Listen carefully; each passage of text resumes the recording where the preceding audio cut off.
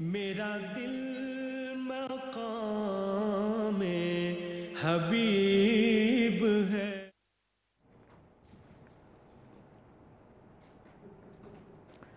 اعوذ باللہ من الشیطان الرجیم، بسم اللہ الرحمن الرحیم۔ خواتین و حضرات، السلام علیکم ورحمۃ اللہ وبرکاتہ و مغفرتہ پروگرام احکام شریعت اور فقہ حنفی سے متعلقہ مسائل کے ساتھ ایک دفعہ پھر حاضر ہیں۔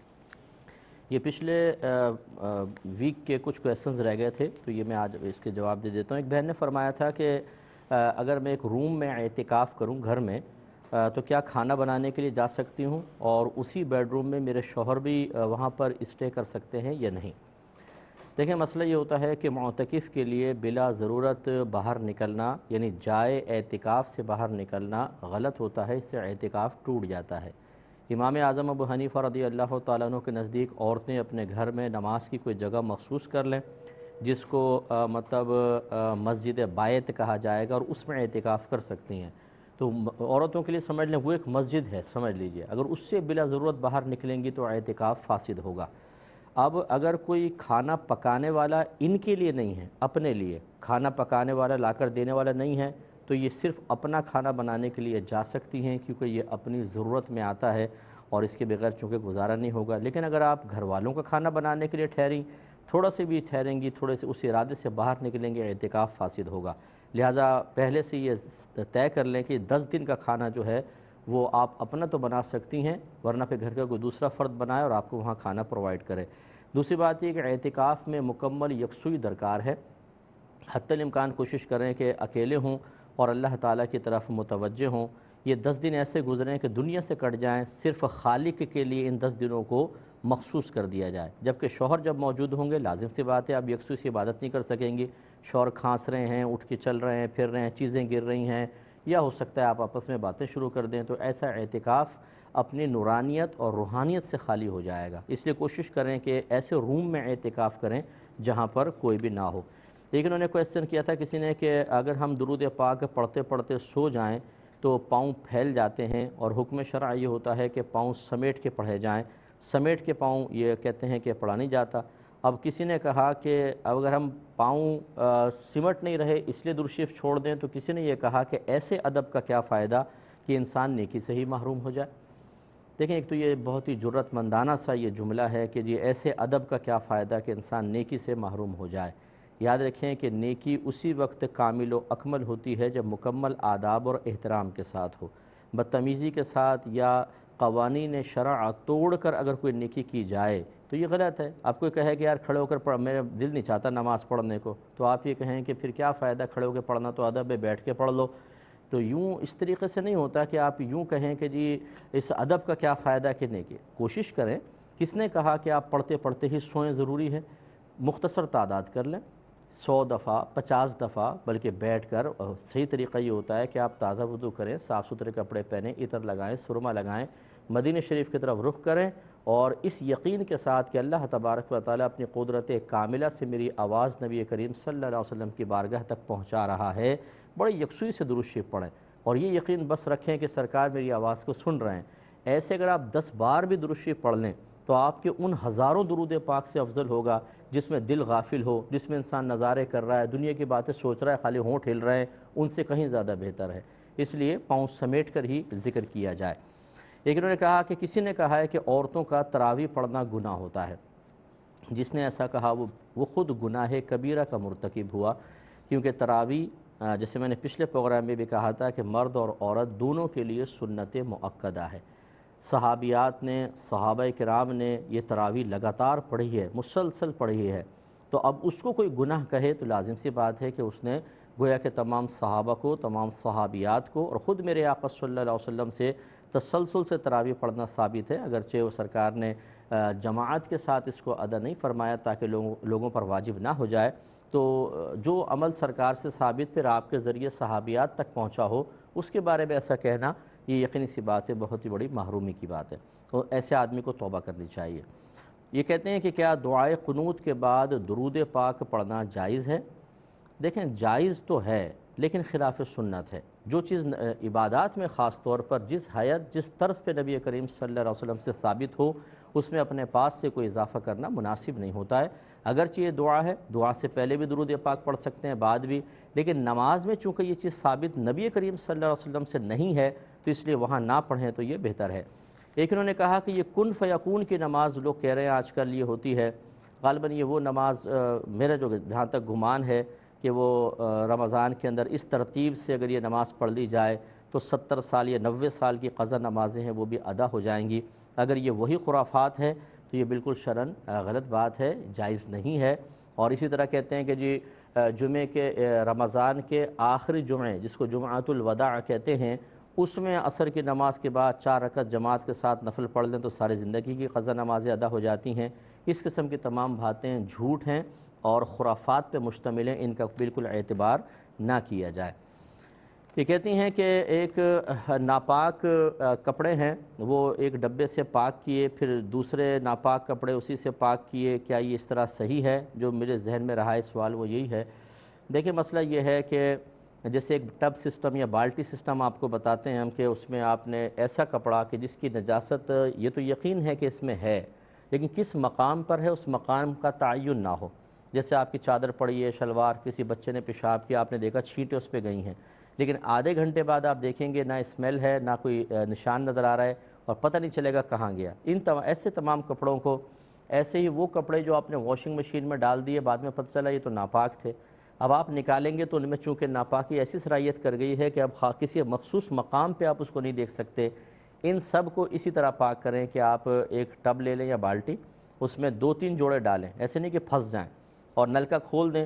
جب یہ اوپر تک مکمل بھر جائے تو ہلکے سے ہاتھ سے کپڑوں کو پانی کی پانی سے نیچے رکھیں۔ پانی کی سطح سے اوپر نکلے ہوئے نہ ہوں۔ بس تھوڑا سا بہنے دیں، یہ کپڑے پاک ہو جائیں گے۔ اب یہ کپڑے آپ نکال لیں، اس میں جو پانی پڑا ہے وہ پاک ہے، کیونکہ یہ بہتا پانی ہو چکا ہے۔ اسی میں دوسرے کپڑے ڈال دیں، پھر تھوڑا سا نلکا کھولیں بہہ جائے، پھر اس رک جائیں، ان کو بھی نکال دیں۔ اس طریقے سے یہ پاک کر لیا کریں۔ اور میں بہنوں کو مشورہ دیتا ہوں کہ آپ ماسی اگر آپ کے گھر میں آتی ہیں، انہیں یہ طریقہ سکھا دیں۔ سارے کپڑے بلا خوف و خطر دے دیا کریں۔ وہ واشنگ مشین میں دھو لیں، پھر ان کو کہیں کہ اس کے بعد بالٹی سسٹم سے ایک دفعہ ہمارے سارے کپڑے نکال دیا کرو، سارے کپڑے پاک ہو جائیں گے۔ حتیٰ کہ اگر وہ کرسچن ماسی بھی ہے، فرض کر لیں تو کپڑے پاک کرنے میں کرسچن یا مسلمان کا کوئی دخل نہیں ہے پانی بہانے کا ہے۔ وہ بھی اگر اس طریقے سے پانی بہا دیں گی آپ کے سارے کپڑے پاک ہو جائیں گے۔ ایک ابھی اور کچھ کویسچن ہیں لیکن ایک کالر موجود ہے پہلے کال لیتے ہیں۔ السلام علیکم۔ جی وعلیکم السلام۔ جی میرے پانچ چار پانچ سوالات ہیں۔ جی بولیے۔ جی میرا پہلا سوال ہے میری میری پھپھی کی بیٹی اپنے ماموں کی بیٹی کے ساتھ عمرے پہ جا رہی ہیں تو کیا وہ جا سکتی ہیں یا نہیں؟ پھپھی کی بیٹی ماموں کی بیٹی کے ساتھ؟ پھپھی کی بیٹی ماموں کے بیٹے کے ساتھ اچھا۔ اپنے ماموں کے بیٹے کے ساتھ جا رہی ہیں۔ ٹھیک ہے ٹھیک ہے۔ میری پھپھی کی بیٹی اپنے ماموں کے بیٹے کے ساتھ عمرے پہ جا رہی ہے تو وہ جا سکتی ہیں یا نہیں؟ جی ٹھیک ہے اور دوسرا سوال میرا یہ ہے کہ ایک دیوا پھپھی اپنے بھتیجے کو ایک سال سے ملنے کے لیے بلا رہی ہیں۔ اور وہ آ نہیں رہے ٹال رہے دعوت بھی کرتی ہے تب بھی وہ ٹال دیتے ہیں اس کو۔ اور وہ ہر عمرے پہ تو ہر سال جاتے ہیں۔ لیکن اپنی پھپھی سے ملنے نہیں آ رہے تو کیا ان کے لیے کیا کیا ہے؟ کیا حکم ہے ان کے لیے؟ کیا۔ وہ صحیح کر رہی ہے کہ اپنی پھپھی سے ملنے جی، نہیں میں آ رہے دیوا پھپھی بلا رہی ہے؟ ٹھیک ہے اور تیسرا سوال میرا یہ کہ دو بہنیں ہیں وہ کماتی نہیں ہیں تو وہ اپنی اپنی امی کی پینشن میں سے اور اپنی بھائی کی تنخواہ میں سے قربانی کر سکتی ہیں؟ ٹھیک ہے اور؟ ایک اور کالر السلام علیکم۔ جی السلام علیکم صاحب۔ جی وعلیکم السلام۔ السلام علیکم مفتی مفتی صاحب السلام جی علیکم۔ آپ کی آواز آ رہی ہے جی؟ وعلیکم السلام۔ مفتی صاحب اگر کوئی یہ کہے کہ وہ حضرت حسن رضی اللہ عنہ سے بیت ہے تو کیا یہ غائبانہ نہیں مجسم؟ تو کیا یہ درست ہوگا اور وہ ان کو تعلیم دیتے ہیں روحانیت میں؟ اور میرا دوسرا سوال یہ ہے مفتی صاحب کہ اگر کوئی یہ کہے کہ جو وہ حضرت لا- لال شہباز خلندت یا حاجی علی غور سے پاک کی حاضری ہوتی ہے ان کو اور خاندان کے لوگ جو وفات پا چکے ہیں وہ ایمان پر گئے ہیں یا شہادت پہ وہ یہ بتا سکتے ہیں تو کیا یہ کہنا درست ہوگا۔ ہے، اور؟ مفتی صاحب یہ ہے کہ روحانیت کی بات جو کرتے ہیں کیا ان کو فقہی پیشوا بھی مطلب مسائل کا معلوم ہونا ضروری ہے ان کو؟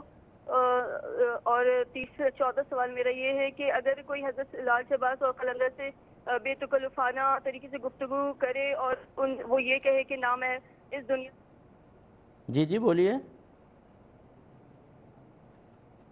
السلام علیکم۔ وعلیکم السلام سر جی۔ جی بیٹا بولیے۔ کیسے مزاج ہیں؟ اللہ کرم۔ اچھا سر جی میرے ایک دو سوال ہیں آپ سے۔ جی جی بولیے۔ سر جی ایک شخص ہے اس کا نا اس کے نا والدین اس سے کہہ رہے ہیں کہ سر تم تم شادی کر لو تمہارا خرچہ جتنا بھی ہوگا بیوی کا بچوں کا وہ ہم اٹھائیں گے اس کے والدین کہہ رہے ہیں۔ تو کیا اگر وہ اس کے والدین کی بات نہ مانے تو کیا وہ گناہ گار ہوگا یا نہیں؟ ٹھیک ہے اور؟ وہ کہہ رہے ہیں میں ابھی پڑھنا چاہ رہا ہوں۔ اور اور؟ دوسرا سوال سر جی میرا یہ کہ ایک آدمی ہے اس کی نا بیوی اس کے ساتھ نا اپنے خاون کے ساتھ نا اچھا سلوک نہیں کرتی وہ کہتی ہے تم مجھے کون سا نان نفقہ دے دو تمہارا نا میرا مجھے تو نان نفقہ تمہارے ماں باپ دیتے ہیں تمہارا باپ دے تم کون سا دیتے ہیں؟ تو اس کے کیا وہ آیا وہ بیوی اس کی گناہ گار ہوگی یا نہیں؟ جی اور؟ بس سر جی ایک مختصر سا بریک لیں گے ہمیں یقین ہے آپ ہمارے ساتھ ہی رہیں۔ بسم اللہ الرحمن الرحیم پہلے دو کالس لے لیتے ہیں پھر انشاءاللہ جوابات۔ السلام علیکم۔ السلام علیکم۔ جی وعلیکم السلام۔ جی سر میرا یہ کوشچن ہے۔ جی بولیے۔ جو جی یہ جو نا بینک میں رمضان کی آمد پہ جو زکوٰۃ کاٹ لی جاتی ہے۔ جی جی۔ ہاں جی۔ تو اس کے اندر ایک بندے نے ابھی جمع سبمٹ کروائی ہے تو ساتھ ہی ساتھ ہی رمضان اسٹارٹ ہوتا تھا وہ کاٹ لی جاتی ہے۔ تو اس کا کیا پروسیجر ہے؟ مطلب یہ آپ پوچھنا چاہ رہی ہیں اس سے زکوٰۃ ادا ہوگی یا نہیں ہوگی یوں؟ ہاں جی ہاں جی۔ اور۔ دوسرا یہ میرا کوشچن ہے یہ جو حتیم کعبہ ہے جی۔ خانہ کعبہ کا حصہ ہے۔ جی جی۔ تو اس کے اندر یہ ہے کہ اس میں بہت سے جو ہمارے ہیں انبیاء کرام ہیں ان کی قبول ہیں۔ اچھا۔ تو اس کے اندر جانا کیا ہے؟ کیونکہ کہا جاتا ہے کہ کبوت کے اوپر پاؤں نہ آئے۔ ٹھیک ہے اور بولیے۔ تو اس کے لحاظ سے کیا ہے صحیح ہے؟ جی جی اور بولیے۔ ایک اور کالر ہیں السلام علیکم۔ السلام علیکم۔ جی وعلیکم السلام۔ مقصد یہ فرمائے گا کہ شریعت کی طرف سے رخصت کے باوجود کوئی روزہ رکھ لے کہ اگر مرا تو روزہ دار مروں گا تو کیا ایسا شخص فضیلت پائے گا؟ یا پھر اس مطلب نے کون بیمار ہے بیٹا؟ وہ بیمار ہے؟ بیمار ہے وہ؟ وہ آدمی بیمار ہے کیا؟ نہیں نہیں۔ ہاں۔ نہیں سوری ہاں بیمار ہے۔ Sorry sorry. بیمار ہے اور شریعت نے اس کو رخصت دی ہوئی کہ وہ چھوڑ سکتا ہے روزہ۔ ٹھیک ہے ٹھیک ہے۔ مطلب وہ کہتا ہے کہ میں رکھ لیتا ہوں چاہے میں اس میں فوت ہو جاؤں یوں۔ جی ہاں جی ہاں بالکل۔ چلیں اور بولیے۔ جی ہاں۔ جی اور مصعب یہ بھی کہتے ہیں کہ جو شخص چوری چوری کرتا ہے وہ سو رہا ہو یا نماز میں گناہ گار ہوتا رہے گا اس طرح کا گناہ جاری ہے۔ تو یہ صحیح ہے اور کیا اس کو نماز اور روزہ کا ثواب ملتا ہوگا پڑھتا ہوگا یا پھر جو اس کی پچھلی نیکیاں وہ بھی برباد ہو جاتی ہیں؟ اور یہ بھی کہتے ہیں کہ جو خواتین مائک پر میلاد پڑھتی ہیں وہ گناہ گار ہوتی ہیں آواز کی وجہ سے۔ لیکن جو ذکر خیر اس محفل میں ہوتا ہوگا اس کا ثواب انہیں ملتا ہوگا یا نہیں؟ جی اور؟ میں انشاءاللہ عرض کرتا ہوں ایک اور کالر ہیں السلام علیکم۔ وعلیکم السلام رحمۃ اللہ۔ جی وعلیکم السلام۔ جی مجھ میرا پہلا کوشچن ہے۔ بیٹا بس دو تین کویشچن کیجیے گا سوال بہت سارے جمع ہوگا ٹھیک ہے؟ بس دو تین کر لیں امپورٹنٹ اپنے جلدی سے۔ جی ٹھیک ہے۔ جی بولیے۔ اگر اپنے غریب اور شریف فقیر رشتے داروں کو چھوڑ کر انسان باہر زکوٰۃ اور نقلی صدقات وغیرہ دے تو کیا انسان گناہ گار ہوگا؟ پلیز کیا اس طرح کرنے سے ثواب میں بھی کمی واقع ہو جائے گی۔ اور بولیں۔ میرا اگلا کوشچن ہے کہ اگر کسی شخص پر زکوٰۃ فرض نہیں ہے تو کیا اسے اپنے روزے نہ رکھنے کا فدیہ ادا کرنا ہوگا؟ وہ بیماری کی وجہ سے روزے نہیں رکھ پا سکتا اور بوڑھا بھی ہے۔ تو کیا وہ فدیہ ادا کرے گا جبکہ ہے وہ شریف فقیر ٹھیک ہے ٹھیک ہے۔ میرا اگلا کوشچن ہے کہ بہار شریعت میں لکھا ہے کہ وہ ہر ممکن پر قادر ہے اور کوئی ممکن اس کی قدرت سے باہر نہیں اس کی وضاحت فرما دیجیے گا۔ ٹھیک ہے اور؟ بہت شکریہ دعا میں یاد رکھیے گا۔ جی میں انشاءاللہ عرض کرتا ہوں۔ ایک یہ پچھلی دفعہ کویشچن یہ ہوا تھا کہ ایک والدین اپنے بچے کو جیسے جہیز میں اے سی دیتے ہیں یا ٹی وی دیتے ہیں تو اب غالب گمان یہ ہے کہ بچی جو ہے یا اس کے سسرال والے چوری کی بجلی سے اے سی چلائیں گے اور ٹی وی کے اوپر فلمیں ڈرامے دیکھی جائیں گی تو کیا وہ یہ دیں یا نہ دیں؟ اور دیں گے تو کیا گناہ گار والدین بھی ہوں گے؟ دیکھیں ہمارے یہاں بہت سی چیزیں دنیاوی تقاضے پورے کرنے کے لیے دی جاتی ہیں اور یہ مجبوری کی صورتیں ہوتی ہیں۔ اس میں اگر والدین کوئی جائز چیز دے رہے ہوں اور کسی گناہ میں تعاون کی نیت نہ ہو تو والدین پہ کوئی وبال نہیں۔ اب یہ استعمال کرنے والے پر وبال ہوگا۔ تو اے سی اور ٹی وی فی نفسی چونکہ کوئی گناہ کے کام تو ہے نہیں، یہ جائز بھی استعمال ہوتے ہیں، کوئی ناجائز استعمال کرے یا بجلی کی چوری استعمال کرے، چوری کی بجلی تو وہ اس کا قصور ہے نا۔ تو اس میں والدین بالکل گناہ گار نہیں ہوں گے، وہ بالکل دے سکتے ہیں۔ اب آگے کیا ہوگا؟ وہ ان کا مطلب عمل ہے اور وہ خود قابل گرفت ہوں گے، اس لیے والدین بالکل گناہ گار نہیں ہیں۔ ایک ہی کہتی ہیں، کسی گھر میں ایک اسی سالہ خاتون ہیں ان کی عادت ہے، وہ فالتو سامان گھر میں بہت سارا جمع کر لیتی ہیں اور وہ بہت ہی کچرت جیسا لگتا ہے۔ تو کیا ایسا ہو سکتا ہے کہ ان کو محسوس بھی نہ ہو اور گھر والے ان کے سامان میں سے کچھ غائب کر دیں؟ تو کیا یہ صحیح ہے؟ جی ہاں بالکل صحیح ہے۔ جبکہ آپ نے خود یہ تصریح کر دی کہ وہ فالتو سامان ہے اگر تو قیمتی سامان ہوتا، کام کا ہوتا، تو پھر یہ اس کے اور مسائل ہوتے۔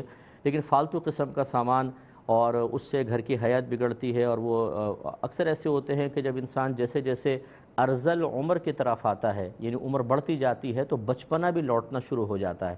حتیٰ کہ وہ ضدی سا ہو جاتے ہیں اور بچوں کی طرح مختلف چیزیں جمع کرنا تو بالکل نظر بچا کر ایسی چیزیں کہ جو فالتو قسم کی ہیں، جن کا گھر میں ہونا نہ ہونا بالکل بیکار قسم کا ہے، بلکہ ان کی وجہ سے گھر کا اور مول خراب ہو رہا ہے تو ان کو ہٹا سکتے ہیں آپ۔ ابھی کے کوشچن لے لیتے ہیں، یہ کہتے ہیں کہ کیا پھوپ ایک لڑکی ہے، وہ اپنے ماموں کے بیٹے کے ساتھ عمرے پہ جا سکتی ہے کہ نہیں؟ دیکھیں جس شخص سے عورت کا نکاح ہو سکتا ہے، وہ اس کے لیے اگر نکاح نہیں ہے تو نامحرم ہے۔ نکاح ہو جائے تو شوہر شوہر کے ساتھ تو جا سکتی ہے۔ لیکن نامحرم کے ساتھ عورت سفر نہیں کر سکتی ہے، جس طرح تنہا سفر کرنا منع ہے، لہذا اگر وہ جائیں گی تو قدم قدم پر گناہ گار ہوں گی۔ یہ مجھے سمجھ میں نہیں آتا مطلب یہ کہ عجیب و غریب ہماری منطق ہے کہ راضی کرنے جا رہے ہیں اللہ کو۔ مطلب خوش توجہ حاصل کرنا چاہتے ہیں نبی کریم صلی اللہ علیہ وسلم کی اور ان کی نافرمانی کر کے انسان جائے۔ کس طرح آپ کو رحمت حاصل ہوگی؟ کوئی زبردستی ہے کہ ہم جو کچھ کر لیں، چاہے اللہ کو لازم ہے کہ ہم پر رحمت کی نگاہ ڈالے نبی کریم ضرور ہم سے راضی رہیں۔ حالانکہ یاد رکھیے کہ سب سے زیادہ اللہ تبارک و تعالیٰ جو ہے وہ نافرمانی کو ناپسند فرماتا ہے۔ اور میرے آقا صلی اللہ علیہ وسلم ایک گناہ گار عورت کی طرف کبھی رحمت کی نگاہ نہیں ڈالیں گے۔ ایسا جانا بالکل بیکار ہے۔ ایسی قافلوں کے اندر جو بھی کاروان وغیرہ ہوتے ہیں، والے ہوتے ہیں، کسی کو بھی عورت کا محرم بنا کے لے جاتے ہیں۔ جی ہمیں تو جوش عقیدت ہے، ہمیں پہنچنا ہے وہاں پر۔ ایسا جوش عقیدت کہ جو گناہ پر مشتمل ہو، وہ کبھی بھی نہ اللہ کی بارگاہ میں مقبول ہوگا، نہ رحمت کونین صلی اللہ علیہ وسلم اس کو رحمت بھری نگاہوں سے دیکھیں گے، بلکہ آپ وہاں سے مبغوز واپس آئیں گی مبغوزہ یعنی آپ کے اوپر نبی کریم بھی غضبناک ہوں گے، اللہ تعالیٰ بھی اور گناہ گار ہوں گی، ایسی خاتون کو منع کریں۔ ایک یہ کہتے ہیں کہ ایک بیوہ پھپھی ہیں، وہ اپنے بھتیجے کو بار بار بلاتی ہیں کہ ہمارے پاس آؤ ملنے، لیکن ایک سال سے زیادہ ہو گیا، وہ ملنے کے لیے نہیں آتا، کیا حکم شرع ہوگا؟ دیکھیں، جب تک اس میں فریق ثانی کا موقف نہ سن لیا جائے، میں کوئی حتمی طور پہ بات نہیں کہہ سکوں گا، ہو سکتا ہے کہ کوئی ایسی شرعی، ایسا عذر ہو کہ بھتیجا نہ آتا ہو۔ مثال کے طور پر جو یہ پھپھی ہیں، یہ بد مذہب ہو چکی ہوں بد عقیدہ ہو چکی ہوں، ان کے عقیدے خراب ہو چکے ہوں۔ ایسے میں تو قطع تعلق کرنا واجب ہو جاتا ہے۔ نبی کریم صلی اللہ علیہ وسلم نے ہمیں اخلاقی کریمانہ کی تعلیم دی ہے۔ لیکن بد مذہب کے ساتھ اخلاقی کریمانہ کی تعلیم، جو آپ کی تعلیم ہے، وہ یہ ہے۔ جیسے قدریہ فرقہ سرکار نے فرمایا قدریہ میری امت کے مجوس ہیں، جو قدرت کا انکار کرنے والے ہوں۔ اور سرکار نے ان کے بارے میں فرمایا، اگر یہ بیمار ہو جائیں، ان کی عیادت نہ کرو۔ اگر یہ مر جائیں تو ان کے جنازے میں شرکت نہ کرو۔ یہ ملاقات ہو تو سلام میں پہل نہ کرو۔ ان کے ساتھ خندہ پیشانی کے ساتھ نہ ملو۔ اس کا مطلب ہے کہ اخلاق جدا گانا ہوتے ہیں۔ عام مسلمان کے ساتھ اخلاق علیحدہ ہے اور ان کے ساتھ اخلاق دوسرا ہوتا ہے۔ تو اس طرح اگر یہ کوئی صورت حال ہے، پھر تو بھتیجا قابل گرفت نہیں ہے۔ لیکن اگر ایسا نہیں ہے، وہ صحیح العقیدہ ہیں۔ اور ایسا کوئی گناہ بھی نہیں کرتی ہیں کہ وہ اپنے بچوں کو لے کر آئیں تو وہ گناہ ان کے اندر سرائیت کر جائیں، برائی سرائیت کر جائے، تو پھر یہ قطع رحمی کے اندر آئے گا۔ اس میں وہ گناہ گار ہوں گے جبکہ پھوپھی بیچاری چاہ بھی رہی ہیں۔ تو اس لیے اس نوجوان کو دیکھ لینا چاہیے۔ اگر وہ ہمیں سن رہے ہیں یا اس قسم کے جو بھی لوگ سن رہے ہیں جو قطع تعلق کر کے بیٹھے ہوئے ہیں یا ملنے نہیں جاتے ہیں صلہ رحمی نہیں کرتے ہیں اس نے سلوک نہیں کرتے ہیں، اس کی اصل وجہ کیا ہے؟ اگر کوئی معقول شرعی وجہ ہے تو بل ٹھیک ہے۔ نہیں ہے تو گناہ گار ہوں گے، اللہ کی بارگاہ میں توبہ کریں اور معافی بھی مانگنی ہوگی۔ یہ کہتی ہیں کہ دو بہنیں ہیں، وہ والد صاحب کی شاید پینشن ہے، اس سے گزارا کرتی ہیں اور بھائیوں کی جو تنخواہ وغیرہ ہے تو وہ یہ پوچھ رہی ہیں کہ کیا اگر وہ پینشن سے یا قرب، یا تنخواہ سے قربانی کریں تو کیا شرن جائز ہے یا نہیں؟ دیکھیں، جائز تو ہے۔ پہلے تو یہ دیکھا جائے گا کہ بہنوں پہ واجب ہے کہ نہیں ہے۔ تو اگر قربانی کے تین دنوں میں ان بہنوں کے پاس اتنا مال کسی بھی صورت میں، کسی بھی شکل میں جمع ہو جائے، جس کی مالیت ساڑھے باون تولہ چاندی تک پہنچ جاتی ہے، جیسے آج کل اڑتالیس ہزار، پچاس ہزار کے قریب ہے، تو یہ جس، جب اس کی مالکہ ہیں اور قربانی کے تین دن، تو ان پہ قربانی واجب ہے۔ اور اگر مالکہ نہیں ہے پھر بھی قربانی کرنا چاہتی ہیں، تو نفل قربانی بنے گی۔ اب چاہے وہ پینشن سے کریں، بھائیوں کی تنخواہ سے کریں، وہ نفل قربانی ہوگی۔ اگر مال ان کے پاس ہے، تو واجب قربانی ہے۔ ایک ہی کہتے ہیں کہ کوئی شخص یہ دعویٰ کرتا ہے کہ میں نے حضرت حسن رضی اللہ تعالیٰ سے ڈائریکٹ بیت کی ہے اور میں ان سے روحانیت کی براہ راست وہ مجسم شکل میں ہوتے ہیں اور میں ان سے تعلیم لیتا ہوں۔ دیکھیں بڑی معذرت کے ساتھ اس طرح کی باتیں کر کے پبلک کو بے وقوف بنانا یہ ان لوگوں کا کام ہوتا ہے کہ جو دنیاوی مفادات چاہتے ہیں۔ ایسا حصی طور پہ اب ممکن نہیں ہے، اتنا کامل کوئی بھی نہیں ہوتا کہ وہ جی سامنے بیٹھ کے تعلیمات حاصل کر رہے ہیں۔ تو یہ اس طرح کے دعوے کرنے والے جو اس دور میں ہیں یہ اکثر جو ہیں جعلی قسم کے پیر ہوتے ہیں۔ جعلی قسم کے لوگ ہوتے ہیں، وہ اس طرح کی باتیں کر کے اپنے اطراف میں ایک ماحول بنا لیتے ہیں۔ اب آرام سے اور بعض اوقات تو مال سے بیزاریت کے اظہار کرتے ہیں۔ لیکن ہمارے اکابری نے لکھا کہ مرکز نگاہ بننا، لوگوں کے قلوب کو مسخر دیکھنا اور اپنے شہرت اور واہ واہ، یہ اس کی جاہ، اس کی تمنا ایسی ہوتی ہے، یہ عزت اور جاہ کی تمنا کہ بعض اوقات مال نہ ملے، عیش نہ ملے۔ اس کے لیے انسان بہت سارے ڈرامے کرتا ہے۔ اس لیے مطلب اس قسم کے لوگوں سے آپ دور رہیں جو اس طرح کے بلند و بانگ دعوے اپنی زبانوں سے کرتے ہوں اور ہے کچھ بھی نہیں، اجتناب کرنے کی ضرورت ہے۔ یہ میرا بہت تجربہ ہے، ہمارا اس چیز کا تیس سال ہو گئے، ان سے دور رہیں، یہ سب سے بہتر ہے۔ ایک مختصر سا بریک لیں گے، باقی سوالات کے جوابات انشاءاللہ بریک کے بعد۔ رحمن الرحیم، ایک اگلا کویسچن اسی شخص کے بارے میں یہ کیا تھا کہ وہ کہتا ہے کہ میرے جو خاندان کے لوگ فوت ہو گئے ہیں میں ان کے ایمان کی اور شہادت کے بارے میں خبر دے سکتا ہوں کوئی ایمان پہ فوت ہوا ہے، کون نہیں۔ دیکھیں، یہ دعویٰ بھی بالکل غلط ہے اور ایسا دعوے کا شرعن کوئی اعتبار نہیں، کیونکہ یہ غیب سے چیزیں تعلق رکھتی ہیں اور وہ اللہ تعالیٰ بتا سکتا ہے اور غیب اللہ ہی جانتا ہے یا اس کے بتائے سے اس کے رسول خبر دے سکتے ہیں۔ اس طرح کی باتیں کر کے پبلک کو صرف متاثر کرنا مقصود ہوتا ہے اور وہی لوگ متاثر ہوں گے جنہوں نے بیچاروں نے دین کے علبے نہیں سیکھی ہوتی۔ وہ بعض ایسے ہوتے ہیں کہ جو ایسے ہی لوگوں کی تلاش میں ہوتے ہیں جو بلند و بانگ دعوے کرنے والے ہوں۔ وہ اور کسی سے متاثر نہیں ہوں گے، آپ انہیں قرآن سنا لیں، حدیث سنا لیں، جہنم کی وعیدیں، بالکل متاثر نہیں ہوں گے، نہ خوف پیدا ہوگا۔ لیکن ایسا کوئی شخص دعوے کرتا ہوا نظر آئے گا تو سمجھتے ہیں بس منزل اس کے قدموں میں ہے۔ ہم دعویٰ کرتے ہیں، آپ سو سال بھی اس کے قدموں کے اندر پڑے رہیں، آپ کو روحانیت حاصل نہیں ہو سکتی ہے۔ یہ کہ کہتے ہیں کہ وہ انہوں بچی نے پوچھا کہ اگر کوئی شخص روحانیت کا دعویٰ کرے اور اس سے ضروری شرعی مسائل معلوم نہ ہوں یعنی علم ظاہر اس کو نہ آتا ہو تو کیا یہ صحیح ہو، صحیح ہے؟ دیکھیں، مسئلہ یہ ہے کہ جتنے بھی صحابہ کرام علیہ ردوان ہیں، ان سب نے نبی کریم صلی اللہ علیہ وسلم سے باقاعدہ علوم ظاہریہ سیکھے ہیں۔ یتلو علیہم آیات ہی ویزکیہم ویعلمہم الکتاب والحکمہ۔ یہ نبی ان کے سامنے قرآن پاک کی تلاوت فرماتے ہیں، ان کا تزکیہ نفس فرماتے ہیں اور انہیں کتاب اور حکمت سکھاتے ہیں۔ جب صحابہ کرام جیسے لوگ جو سیدنا شیخ عبد القادر جیلانی رضی اللہ تعالیٰ عنہ سے افضل ہیں، امام مہدی رضی اللہ تعالیٰ عنہ سے افضل ہیں، اور یہ دونوں غوث، غوثیت قبرہ پہ فائز ہیں۔ شیخ عبد القادر جیلانی بھی اور امام مہدی رضی اللہ تعالیٰ عنہ جو قرب قیامت کے وقت ظاہر ہوں گے، یہ دونوں غوثیت قبرہ، لیکن اس کے باوجود صحابہ جو ہیں وہ ان سے افضل ہیں۔ اور وہ باقاعدہ نبی کریم صلی اللہ علیہ وسلم کے پاس آ کر علوم زہریہ پہلے سیکھتے ہیں۔ ہمیشہ یاد رکھیے کہ علم لدنی یا علم باطن کے لیے بنیاد اور بیس علم ظاہر بنے گا۔ پہلے انسان علم ظاہر سیکھتا ہے تو اس میں وہ روحانی طاقت اور قوت پیدا ہوتی ہے اور وہ اس قابل بنتا ہے کہ اب اس پر علم لدنی کے دروازے کھلیں، جبکہ وہ کسی شیخ کامل کا دامن تھامیں اور شیخ کامل وہی ہوگا جو اپنے بارے میں سے بلند و بانگ دعوے نہیں کرتا، وہ شریعت پہ چل کے دکھاتا ہے۔ اس کو قرآن و حدیث کا علم ہوتا ہے۔ یہ مسلمہ قاعدہ ہے، اصول یاد رکھیے گا۔ کہ جو عالم نہیں ہوتا وہ کبھی اللہ کا ولی نہیں بن سکتا۔ اللہ تعالیٰ کسی جاہل کو ولایت کا بھی عطا نہیں فرمائے گا۔ تو اس لیے اگر ان کو یہ زہری علوم بھی نہیں پتہ ہیں، تو پھر یہ ولایت کا دعویٰ کرنا اور روحانیت کا دعویٰ کرنا یہ کھوکھلے دعوے ہیں۔ کچھ بھی حاصل نہیں ہو سکتا۔ میں نے جیسے دعویٰ کیا، سو سال صحبت میں بیٹھ کر دیکھیں، بدلتی ہوئی وقتی عارضی کیفیت کو، روحانیت کا نام دے کر یہ سمجھنا کہ منزل مل رہی ہے، یہ بے وقوفی ہے، یہ وہی کرے گا جس بیچارے نے کبھی اصل روحانیت کا مزے نہیں چکھا ہوگا۔ یہ کہ کہتے ہیں کہ وہ دعویٰ کرتا ہے کہ میں بے تکلفانہ حضرت لال شہباز قلندر سے گفتگو کرتا ہوں دیگر سے، یہ بھی اسی طرح کے دعوے اس کا جواب میں دے چکا ہوں۔ ایک یہ بچے نے کویشچن کیا کہ اگر وہ بے روزگار ہے، پڑھ رہا ہے۔ اگر والدین اس کو حکم دیں کہ تمہارا پورا خرچہ، تمہارا، تمہاری بیوی کا ہم اٹھائیں گے، تم شادی کر لو، تو اگر وہ منع کرے تو کیا گناہ گار ہوگا؟ کیونکہ ابھی وہ پڑھنا چاہتا ہے۔ دیکھیں، جب اس طرح والد صاحب نان نفقے کا خود وعدہ کر رہے ہوں اور ظاہر جو ہے وہ والد صاحب کے اس پیشکش کے خلاف نہ ہو یعنی والد صاحب کی نوکری نہیں ہے، نہ کاروبار اور رکیں ہم خرچہ دیں گے، تو یہ ظاہر ان کے خلاف ہوا، اب تو نہیں۔ لیکن اگر وہ واقعی کماتے ہیں، ان کے پاس پیسہ ہے، بینک بیلنس ہے، اب وہ کہہ رہے ہیں کہ تم شادی کر لو، ہم خرچہ اٹھائیں گے، پھر جب تم فارغ ہو کر روزگار مطلب کوئی نوکری وغیرہ کرو گے، تو پھر ٹھیک ہے، تم اپنا اٹھانا۔ تو پھر یاد رکھیں، جب یہ اسباب خود والدین مہیا کر رہے ہیں، اس کا یقین بھی ہے۔ اب اگر بیٹا منع کرے گا تو گناہ گار ہوگا۔ یہ کہنا جی میں یکسوئی سے تعلیم حاصل کر لوں، اس کے بعد یکسوئی دو طرح سے حاصل ہوتی ہے۔ کبھی تو ایسا ہوتا ہے کہ کوئی ساتھ نہ ہو تو یکسوئی ملے گی، اور کبھی ایسا ہوتا ہے کہ شادی کرنے کے بعد یکسوئی ملتی ہے کیونکہ ایک نوجوان ہوتا ہے، وہ صرف پڑھائی میں لگتا ہے تو باطنی تقاضے بعض اوقات اتنے غالب آتے ہیں کہ اس کو پڑھنے نہیں دیتے ہیں۔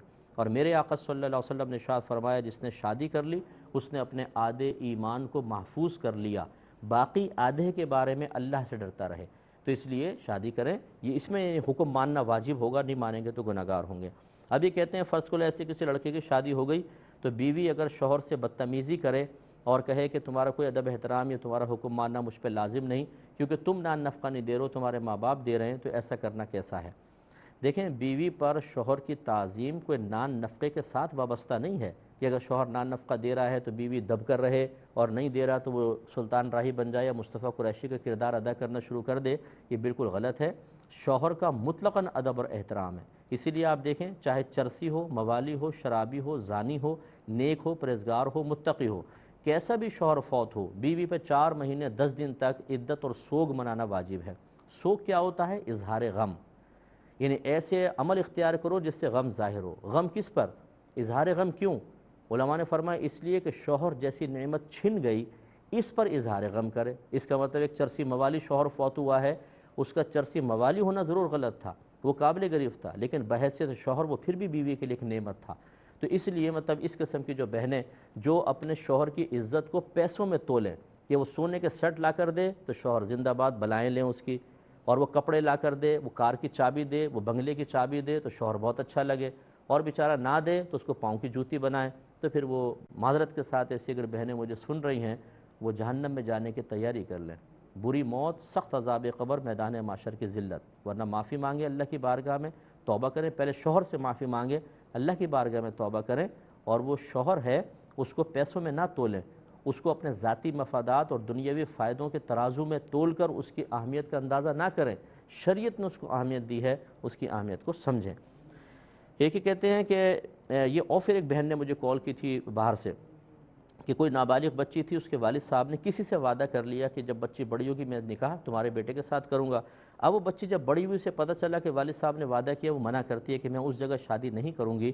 تو والد صاحب سخت ناراض ہیں، ان کو دھمکیاں دیتے ہیں، جائیداد سے آگ کرتے ہیں۔ اور کہتے ہیں کہ تم میری اولاد ہی نہیں ہو، اگر تم شادی نہیں کرو گی تو بچی کیا کرے؟ دیکھیں مسئلہ یہ ہوتا ہے کہ یہاں دو چیزیں ہیں۔ پہلی بات تو ایک فقہ حنفی کے روح سے والدین کو بھی بالغ بچی پر ولایت اجبار حاصل نہیں ہے۔ اجبار مینس جبر کرنا، زبردستی کرنا۔ فقہ حنفی کہتا ہے کہ جب بچی بالغ ہو جائے، والدین کہہ سکتے ہیں اس کو، اور لیکن زبردستی نہیں کر سکتے کہ تم فلاں جگہ ضرور نکاح کرو گی۔ اس لحاظ سے والد صاحب ٹھیک نہیں کر رہے ہیں۔ یہ ایک جہت ہے۔ بچوں کو ہم یہ سمجھاتے ہیں کہ اگر والدین آپ کی کسی جگہ نکاح کر رہے ہیں، تو اگر آپ کو انیس بیس بھی لگ رہا ہو، آپ ہاں کہہ دیں، یہ سعادت مندی ہے۔ جو خوشی والدین کی فرما برداری کے ساتھ حاصل ہو، ان کو خوش کر کے حاصل ہو، اس میں برکت ہوتی ہے۔ تو لہٰذا اگر تھوڑا بہت ہے تو نظر انداز کر دیں ہاں اگر بہت ہی زیادہ ہے، والد صاحب کہہ رہے ہیں، چرسی موالی شرابی سے کر لو، پیسہ بہت ہے لیکن شرابی ہے، عورتوں سے روابط رکھتا ہے، اب وہ بچی منع کر رہی ہے تو بالکل وہ حق بجانب ہے، وہ منع کر سکتی ہے۔ تو میں نے دونوں جانب کی رعایت کی۔ نہ والدین ہم سے ناراض ہوں کہ بچوں کو شاید ہمارے خلاف باغی کر رہے ہیں، نہ ہم مطلب بچے ہم سے ناراض ہوں کہ والدین کے حکم کو مسلط کیا جا رہا ہے۔ میں نے آپ کو دونوں حکم بتائے۔ والدین کو پیار، محبت سے اپنے بچوں کے اچھے مستقبل پہ توجہ کرنی چاہیے اور بچوں کو سعادت مندی سے سر جھکانا چاہیے۔ لیکن جب اس میں کلیش پیدا ہو جائے تو پھر والدین کو چاہیے کہ اپنے بالغ اولاد کے ساتھ زبردستی نہ کریں۔ زندگی انہوں نے گزارنی ہے۔ اگر بچی کی زبردستی آپ نے شادی کر دی اور وہ ساری زندگی بے سکونی اور بے قراری میں گزارے اور تکلیف اور غم میں گزارے تو کیا آپ کو مزہ آئے گا، فائدہ ہوگا؟ اس لیے مطلب زبردستی نہ کی جائے، پیار، محبت سے معاملہ حل کیا جائے۔ بہن فرماتی اچھا ایک وہ کہ آق کرنے کی دھمکی دیتے ہیں۔ یاد رکھیں، یہ جو ہمارے ہاں معروف ہے کہ جی والد صاحب چاہیں تو بچے کو آگ کر دیں اور آگ کا یہ تصور کہ وراثت سے محروم کر دیں، یہ کوئی باپ نہیں کر سکتا۔ اگر والد صاحب کا انتقال ہو، چاہے زبان سے لاکھ، دس دفعہ آگ کا لفظ کہا ہو، اخبار میں اشتہار دے دیے ہوں کہ میں اپنی اولاد کو آگ کر دیا میری وراثت میں اس کا کوئی حصہ دار نہیں، حصہ اللہ نے رکھا ہے، کوئی منع نہیں کر سکتا۔ جیسی والد صاحب کا انتقال ہوگا، بیٹی کو حصہ ضرور ملے گا۔ ہاں یہ ہو سکتا ہے اپنی زندگی میں سارا کسی کے کو ہبہ کر دیں، تحفہ، گفٹ دے دیں، اپنے پاس کچھ نہ رکھیں، سامنے والے کو مالکانہ حقوق دے دیں، تصرف کا اختیار دے دیں۔ تو پھر ہو سکتا ہے۔ لیکن پھر بھی اپنے بچوں کو اس طرح وراثت سے محروم کرنا یہ اچھی چیز نہیں ہوتی ہے۔ لیکن آگ کا کوئی شرعی تصور ہمارے مذہب میں اس طرح کا نہیں ہے۔ ایک یہ کہتے ہیں کہ رمضان میں بینک والے یہ زکوٰۃ کاٹ لیتے ہیں کہ ایسے ہماری زکوٰۃ ادا ہوگی؟ جی بالکل نہیں ہوگی۔ اس میں شرعی تقاضے پورے نہیں ہوتے، تفصیل کی گنجائش نہیں ہے۔ لیکن بس جواب یہ ہے کہ بینک جو زکوٰۃ ڈیڈکٹ کرتا ہے یہ حقیقتاً شرعی طور پہ زکوٰۃ آپ کی ادا نہیں ہوتی، آپ از خود بینک کو منع کر دیں، از خود زکوٰۃ کو ادا کریں۔ ایک یہ کہتے ہیں کہ حتیم کعبہ کے اندر سنا ہے کہ انبیاء علیہ السلام کی قبور ہیں، تو اب قبروں پہ چڑھنا تو منع ہے، تو کیا مندر نہیں جائیں؟ دیکھیں، حتیم میں نہیں ہے۔ کعبۃ اللہ کے اطراف میں، یہ خود حدیث میں آیا کہ ستر کے قریب انبیاء علیہ السلام کے مزار ہیں۔ اب ایک ہوتا ہے کہ قبر جیسے اس پر ڈائریکٹ کھڑے ہو جانا۔ ایک ہے کہ نیچے قبر ہے، اس پر ایک جیسے آپ دیوار کھڑی کریں، ایک اوپر چھت ڈال دیں، اس چھت کے اوپر کھڑا ہونا، یہ ان دونوں میں فرق ہے۔ ڈائریکٹ قبر کے اوپر کھڑا ہونا منع ہوتا ہے، لیکن اگر چھت بنا دی، اس کے اوپر چلنا یہ منع نہیں ہوتا۔ جب خود ہمارے نبی کریم صلی اللہ علیہ وسلم نے کعبۃ اللہ کا طواف فرمایا اور اطراف میں، کعبۃ اللہ کے اطراف میں انبیاء علیہ السلام کے مزار ہیں اور صحابہ بھی ان کے اوپر سے اس طرح گزرے ہیں تو بس یہ اس بات کی دلیل ہے کہ ہمارے لیے شرعن جائز ہے، اس لیے اس میں کوئی آپ توجہ نہ کریں۔ یہ کہتی ہیں کہ اگر کوئی شخص بیمار ہو اور اس کو شریعت نے رخصت دی ہے کہ تم روزہ نہ رکھو، لیکن وہ پھر بھی روزہ رکھے کہ چلو اگر میں مر جاؤں تو کوئی بات نہیں، میں دیکھیں جی شہادت کی موت ہو جائے گی وغیرہ، تو کیا حکم شرع ہوگا؟ دیکھیں چونکہ اس میں کوئی کنفرم نہیں ہے کہ آدمی اس بیماری سے ضرور مر جائے گا تو اس لیے اگر وہ روزہ رکھتے رکھے تو کوئی حرج نہیں اور فرض کر لیں کہ روزہ رکھا اگر اس کا انتقال ہو گیا تو گناہ گار نہیں ہوگا۔ ہاں اگر وہ ایسا ہوتا کہ چار دن کا فاقہ ہے، سامنے مردار پڑا ہوا ہے، اب حالت استرار میں مردار کھانا جائز ہے، بقدر ضرورت، اور اب وہ کہے نہیں میں مردار نہیں کھاؤں گا، چاہے مر جاؤں، اب ضرور گناہ گار ہوگا۔ کیونکہ یہاں پر کھانے سے یقینی طور پہ بچے گا، لیکن بیماری سے یقینی طور پہ آدمی مرے گا یا روزہ رکھ کے مرے گا، یہ یہ مطلب کوئی بھی نہیں کہہ سکتا۔ لہٰذا یہاں روزہ رکھنا بھی جائز اور فرض کر لیں اسی روزے کی حالت میں اس کا انتقال ہو جاتا ہے تو وہ بالکل گناہ گار نہیں ہوگا، بلکہ اللہ تعالیٰ اس کو مقام اور مرتبہ عطا فرمائے گا۔ یہ کہتے ہیں کہ سنا ہے کہ جو شخص چوری کر لے، اس کے بارے میں کہا جاتا ہے وہ سو رہا ہو یا نماز پڑھ رہا ہو گناہ گار ہوتا رہے گا۔ یعنی یہ گناہ جاریہ ہے، ایسا نہیں ہے۔ گناہ جاریہ نہیں ہے ہاں گناہ ضرور ہے۔ پھر یہ کہ اگر وہ روزہ اور نماز رکھتا ہے تو اس کا کیا ثواب ملے گا؟ بالکل ملے گا۔ کون منع کر سکتا ہے؟ ٹھیک ہے، ایک گناہ اس نے ضرور کیا، بہت برا گناہ ہے لیکن یہ ذمہ داری سے بڑی ذمہ بھی ہوگا، اس کے فرض کاؤنٹ کیے جائیں گے اور اللہ تعالیٰ کی رحمت بہت بڑی ہے۔ میں حوصلہ افزائی نہیں کر رہا ہوں، لیکن بہر شرعی حکم یہ ہے، اس کو چوری سے توبہ کرنی چاہیے اور یہ غلط ہے اور اس کا عذاب بہت سخت ہے۔ لیکن یہ اس طرح کے حکم لگانا کہ چونکہ تم نے چوری کی، اب ساری زندگی نہ نماز تمہاری قبول، نہ نماز۔ اب چوری سے تو ویسی وہ بیچارہ پھنس گیا، نماز روزہ آپ نے منع کر دیا، تو آپ نے تو اس کو جہنم مطلب شیطان کے حوالے کر کے گویا کہ جہنم کا راستہ دکھا دیا۔ ایسا نہیں کرنا چاہیے۔ اسی طرح یہ کہتے ہیں کہ جو عورتیں گناہ، یہ میلاد وغیرہ بلند آواز سے پڑھتی ہیں اور ان کی آوازیں مردوں تک پہنچ رہی ہوتی ہیں تو کہا جاتا ہے یہ گناہ ہے عورت کی آواز مرد تک پہنچتا۔ تو کیا ان کو پڑھنے کا کچھ ثواب بھی ملے گا یا نہیں ملے گا؟ دیکھیں ملے گا انشاءاللہ، دو جہتیں ہوتی ہیں۔ ایک چیز ایسی ہوتی ہے جو فی نفسی ہی جائز ہوتی ہے، اس میں قباحت آتی ہے کسی دوسری وجہ سے۔ تو اس کو کہتے ہیں حرام لی غیر ہی یعنی یہ حرام ہے اپنے غیر کے سبب۔ ایک ہوتا ہے حرام لی عین ہی عین من ذات، حرام اپنی ذات کے سبب۔ چوری، زنا، یہ حرام لی عین ہی ہے۔ لیکن میلاد پڑھنا یہ تو جائز تھا۔ ہاں آواز مردوں تک پہنچی، اس وجہ سے شرع قباحت پیدا ہوئی۔ تو یہ حرام لی غیر ہی ہوا۔ حرام لی غیر ہی میں فعل جائز ہوتا ہے، اس غیر کے اندر قباحت ہوتی ہے۔ تو لہٰذا اللہ کی رحمت بہت بڑی ہے۔ ہم یہ کہیں گے کہ ثواب کی امید یقیناً رکھی جائے۔ لیکن ہماری بہنوں کو چاہیے کہ جب اس طرح کہیں میلاد ہو تھوڑی آواز کم رکھیں تاکہ غیر مردوں تک آواز نہ پہنچے۔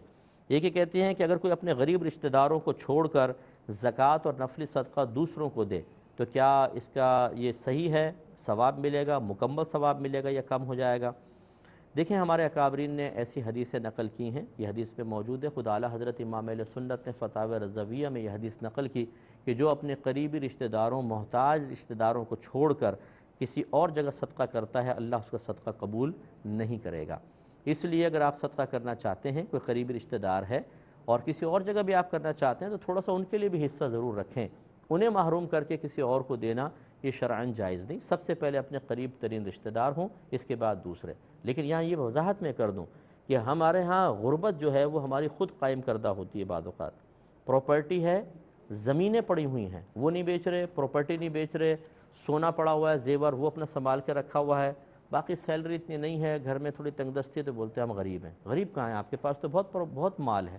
اور جب تک مال ہے، تب تک انسان مطلب نہ لے، یہ افضل اور اولا ہے۔